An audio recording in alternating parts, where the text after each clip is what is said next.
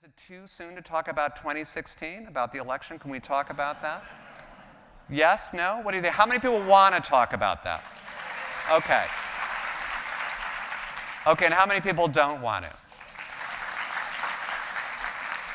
You see, that's what I mean. The Y is like a bellwether. we live in a divided country, and it's represented at the 92nd Street Y. Well, um, you know, we might talk a little. I know it's a little bit uh, early, but could you want to hear my predictions? I have some predictions. Okay. Um, I am not a betting man, um, but I think the Democrats will nominate Hillary Clinton.